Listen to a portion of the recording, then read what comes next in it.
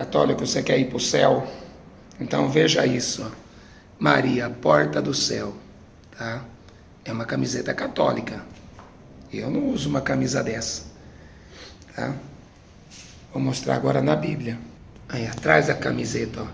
Sexto encontro para mulheres.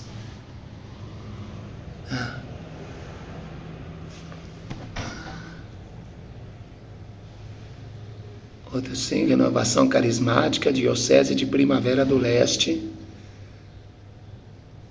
Tá? Católica. Tá vendo? Tudo é católico, ó. Nossa Senhora das Graças, certo? Grupo de oração. Então aí, ó, é a mesma camiseta, ó. certo? Tem montagem não. Maria, porta do céu. Agora vamos ver aqui, eu tô com a Bíblia católica. Aí, ó. Eu sou a porta. Se alguém entrar por mim, será salvo. Entrará e sairá. E encontrará pastagem. Certo? O ladrão vem senão para roubar, matar e destruir. Eu vim para que tenham vida e a tenham com abundância. Eu sou o bom pastor. O bom pastor da sua vida pelas suas ovelhas. O mercenário que não é pastor, a quem não pertence as ovelhas ele vê o lobo aproximar-se, abandona as ovelhas e foge. O lobo as arrebata e dispersa, porque ele é mercenário e não se importa com as ovelhas. Eu sou um bom pastor, conheço minhas ovelhas e as minhas ovelhas me conhecem. Como o Pai me conhece, eu conheço o Pai. Dou minha vida pelas minhas ovelhas. Tá? Até aqui tá bom. Maria deu a vida para salvar vocês na cruz. Então ela não é a porta. É simples assim. Ela não é a porta, porque Jesus veio para dar a sua vida em resgate de muitos. Não é? E olha, é Bíblia Católica, Bíblia de Jerusalém, tá? É a Bíblia mais conhecida, é a melhor versão que tem da Bíblia Católica, tá? Então eu estou mostrando isso, por quê? Porque o padre é um mercenário, o Papa é um mercenário, eles mentem para vocês, tá? Se você entrar por essa porta, você vai terminar no inferno católico. É no inferno que vocês vão terminar. Tá? Maria não vai rogar por você nem agora, nem na hora da morte. Hebreus 7, 25. Jesus intercede por nós. Tá? Ele está lá intercedendo por nós. Aqui na terra, Romanos 8, 26. O Espírito Santo intercede por nós com gemidos inexprimíveis, porque não havemos de saber como convém. Vamos ler na Bíblia Católica. Olha, Hebreus 7, tá? No verso 3, já vai dizer assim, ó. É Jesus, esse é, Melquisedeque é Jesus no Velho Testamento. Rei de Salém, né? rei da paz, sem pai, sem mãe. Então Maria não é a mãe biológica dele, tá? Porque ele foi gerado pelo Espírito Santo, sem genealogia, sem princípio de dias, sem data de nascimento, sem nem fim de vida. Por quê? Porque Jesus Cristo sempre foi o Senhor, ele sempre foi o Senhor Deus. Tá? Ele, ó, versículo 24. Ele, porém, visto que permanece para a eternidade, possui sacerdócio, sacerdócio imutável, por isso é capaz de salvar totalmente aqueles que aqueles que por meio dele se aproximam de Deus, visto que ele vive para sempre para interceder por eles, certo? Ele já fez uma vez por todas, não precisa ficar fazendo missa e matando Jesus toda missa, tá? É, o padre, quando rasga a hóstia, ele está matando Jesus. Sacrifício, por isso que ele é um sacerdote, sacerdote do diabo, porque Jesus morreu uma vez. Ele já fez isso na cruz uma vez, oferecendo a si mesmo. Tá? Aqui, Romanos 8, tá? 26. Ó. Assim também o Espírito socorre as nossas fraquezas, pois não sabemos que pedir como convém mas o próprio Espírito intercede por nós com gemidos inefáveis. E aquele que perscruta, aquele que conhece os corações, sabe qual o desejo do Espírito. Pois é segundo Deus que ele intercede pelos santos. Então não tem esse negócio dos padroeiros, né? as pessoas que morreram, interceder por nós. Não tem como a Maria interceder por nós. Tá? Isso é mentira do catolicismo.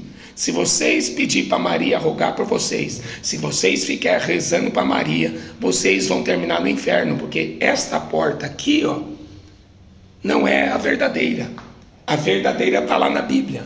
Tá? A verdadeira é Jesus, a porta.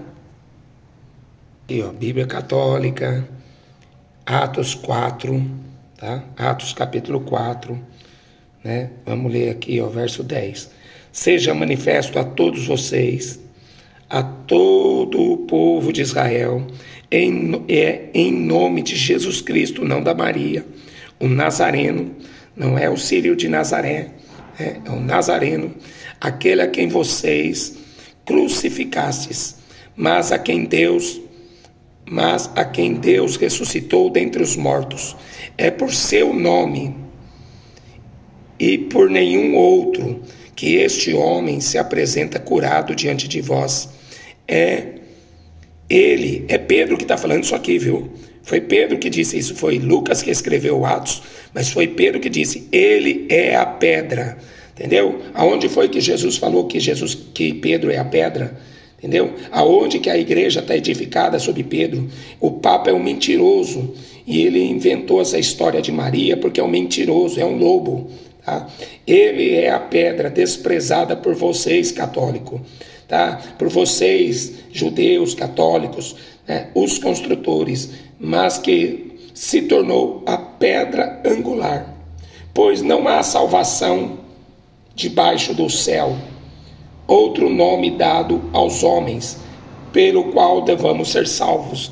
Então o católico vai para o inferno sim, quando ele ora para essa deusa rainha dos céus, né? que aqueles dizem que é Maria porque são mentirosos, a pedra é Jesus Cristo. Tá? Então quando você ora por essa mentira aqui, você termina a sua vida no inferno. Vai passar toda a eternidade no inferno, clamando por uma mentira que não pode salvar. Ou vocês acreditam aqui na Bíblia Católica, ou vocês vão para o inferno. Tá? A Bíblia diz em Apocalipse, aí, Apocalipse 21, versículo 8: os idólatras, tá vendo? Infiéis, corruptos, assassinos, covardes, impúdicos, aos mágicos, né? idólatras, mentirosos. Estão indo pro, o padre está indo para o inferno porque é um mentiroso, tá? enganando vocês e sendo enganado, como diz a Bíblia. Se encontra no lago de fogo, enxofre, que é a segunda morte. Tá vendo? Essa vai ser a porção que esses padres, que os católicos vão receber, ser jogado no lago de fogo. 1 Timóteo, primeira carta de Paulo a Timóteo, capítulo 2, Aí, ó, verso 5: Pois há um só Deus, tá? Adianta rogar para Maria, porque é Deus, a oração é só ao Deus Pai. Há um só Deus e um mediador, esse mediador é Jesus Cristo, tá? Então, a nossa oração a Deus, um só mediador entre Deus e o homem, um homem, Jesus Cristo, que deu em resgate por todos. O que, que a Maria deu? É. Ah, ela gerou Jesus? Não, quem gerou foi o Espírito Santo. Tá? Se a Maria não quisesse, Deus escolheria outro. Tá? Por isso que ela disse: Eis aqui a tua serva, cumpra-se em mim tua vontade. Tá? Maria foi uma serva. Ela se alegrou na salvação que Deus ofereceu para toda a humanidade, inclusive para ela. O meu espírito se alegra em Deus, o meu Salvador, disse Maria. Então Maria reconhecia que ela também era uma pecadora. Ela foi no templo oferecer sacrifício junto com José, levou Jesus ali. Né? Então ela sabia que ela tinha que cumprir aqueles rituais, porque ela estava esperando o Salvador. E o anjo apareceu e falou: Bem-aventurada és tu entre as mulheres, porque Deus te escolheu, tá? Mas ela nunca vai poder rogar por você na hora da morte, principalmente, muito menos agora e na hora da morte também. Então, fica com essa palavra e obedeça a Bíblia. Se você quiser ir para o céu católico, obedeça a Bíblia.